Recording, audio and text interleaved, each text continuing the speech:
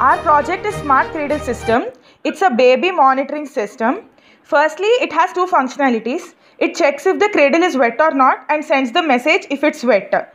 The second functionality is that if the baby is crying, a message is sent to the parent and a song plays in the background. This is the hardware setup. We use NodeMCU and a water sensor here and made the necessary connections.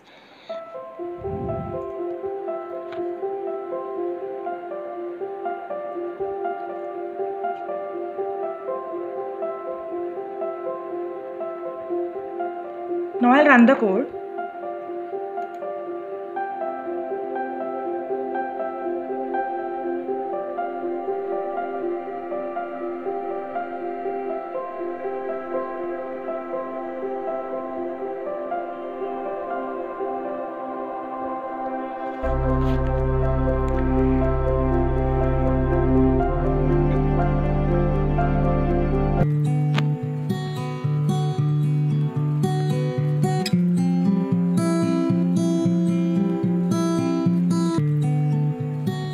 Now to implement the second functionality of uh, recognizing if the baby is crying and then sending a message, we used uh, Python and DeepFace library and we wrote the entire code in Jupyter Notebook.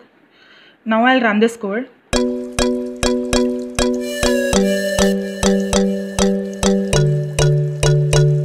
Now it will dynamically capture a picture and uh, based on that if the baby is crying then going to play Twinkle Twinkle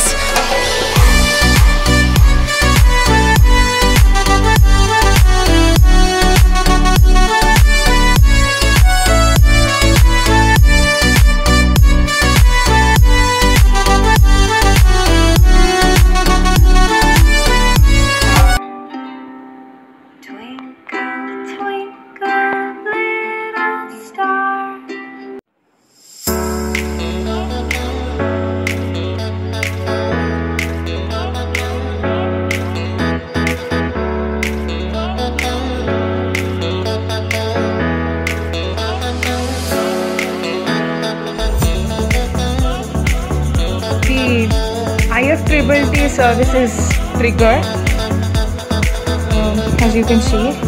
And uh, at the same time a message is sent to my phone saying cradle